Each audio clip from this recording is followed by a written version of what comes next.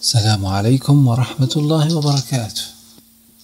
ذات يوم وبعد نقاش حاد بين الزوجين، تعصب الزوج على زوجته ورمى عليها يمين الطلاق، وقال لها: لن ترجعي في عصمتي إلا في يوم مشؤوم أو أغبر ليس به نور. فخرجت الزوجة لبيت أهلها وهي تبكي، وبعد أن هدأ الزوج وأحس بالندم على ما فعل، خرج ليبحث عن فتوى من أحد العلماء في القرية والتقى بشيخ القرية وسرد له القصة.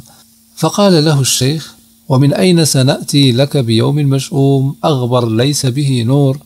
سامحك الله لا أجد لك مخرج من هذا أيها الزوج.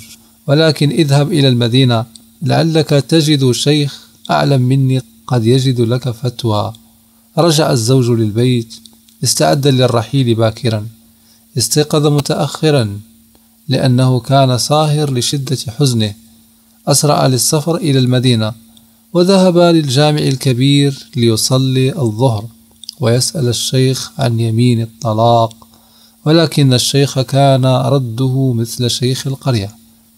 من أين سنأتي لك بهذا اليوم المشؤوم الأغبر الذي ليس به نور؟ خرج الزوج مهموما. يجر قدميه إلى أن وصل سوق المدينة. جلس شاردا لأكثر من ساعة أمام كشك لبيع الخردوات. جاء صاحب الكشك إلى الزوج وقال له ما بالك أيها الرجل؟ جلست لأكثر من ساعة في حالة شرود. فحكى الزوج قصته وأنه لم يجد شيخ يفتي له. فهمس صاحب الكشك إلى الزوج وقال أترى ذلك الشخص على يمينك؟ فقال الزوج الذي يفترش الأرض وثيابه رثى وشعره كثيف وغير ممشط. قال صاحب الكشك نعم. اذهب وقص عليه واسأله. واستغرب الزوج وكيف لهذا الرجل المجنون أن يجد لي مخرجا وأنا سألت المشايخ ولم يجدوا لي حلا؟ وقال في نفسه سأذهب فأنا لم يعد لي سبيل غيره وذهب إليه وجلس على الأرض أمامه وقال له يا حج أريد أن أحكي لك قصتي. قال له احكي يا غافل. فاستغرب الزوج وبدأ في سرد حكايته حتى نهايتها. فقال المجنون هل صليت الفجر؟ فقال الزوج لا. لا والله لقد استيقظت بعد الفجر. فقال المجنون كيف حال أمك اليوم؟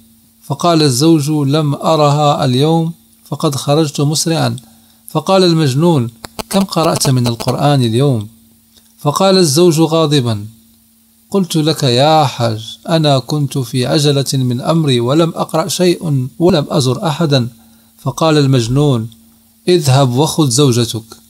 فهل هناك يوم مشؤوم وأغبر وليس به نور كيومك هذا؟ لم تصلي الفجر. ولم تقرأ القرآن ولم تر أمك وتستأذنها ففرح الزوج وأصبح يقبل رأس المجنون ويقول له لقد أنقذتني يا شيخ ويا علامة اطلب ما شئت يا شيخ. فرد المجنون أنا لا أطلب إلا من ربي وإلهي يا غافل. أخي أختي إذا أتممت معنا إلى هذا الحد علق بالصلاة على الرسول الكريم. صلى الله عليه وسلم. والسلام عليكم ورحمة الله وبركاته.